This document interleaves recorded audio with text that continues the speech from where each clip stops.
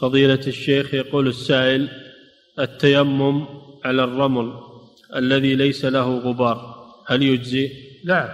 كل وجوه الأرض الطاهرة كل وجه الأرض رملا كان أو حجارة أو كله يجزي التيمم عليه.